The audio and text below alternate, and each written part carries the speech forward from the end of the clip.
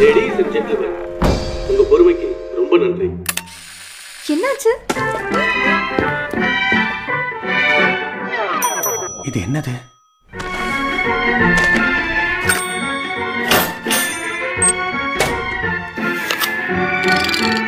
இங்கி பிங்கி பாங்கி. அப்போ இது ரொம்ப ஈஸி இதனால் வரைக்கும் நீங்க யாரும் பார்த்திராத ஒரு பெர்ஃபார்மன்ஸ்